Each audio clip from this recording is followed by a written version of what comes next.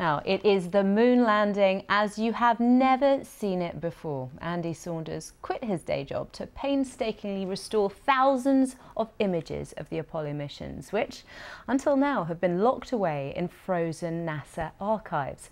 The remastered photographs reveal extraordinary new details of humankind's first journey into space, and they really are out of this world. Rebecca Morelle reports. Three, two, one, zero. We choose to go to the moon in this decade and do the other things, not because they are easy, but because they are hard. The voice of President John F. Kennedy on the Apollo missions, which ushered in a golden era of human space exploration. Tranquility Base here. The Eagle has landed.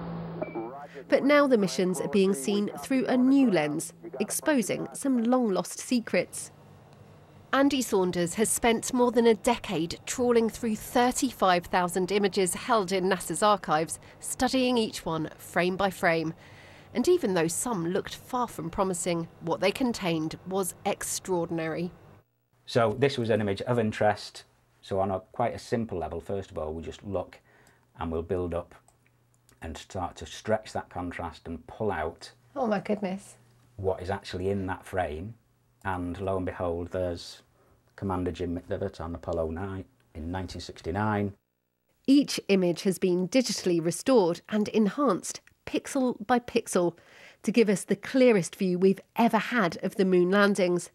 From vistas of the cratered surface to the Eagle lunar module and a glimpse of what everyday life was really like for the astronauts.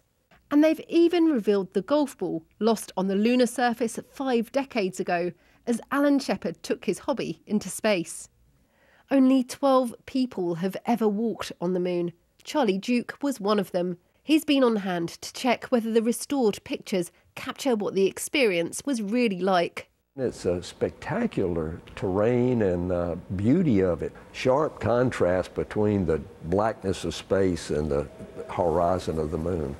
Uh, I'll never forget it. It was so dramatic. Now others will soon get to see this for themselves. Next week, NASA's new mega rocket will attempt to launch for the first time. Eventually, it will be returning humans to the moon. It's one small step for man, one giant leap for mankind. For 50 years, we've been captivated by the Apollo missions, witnesses to history as it unfolds. But soon the moon will be viewed through the eyes of a new generation. Rebecca Morelle, BBC News. Wow, amazing pictures, weren't they?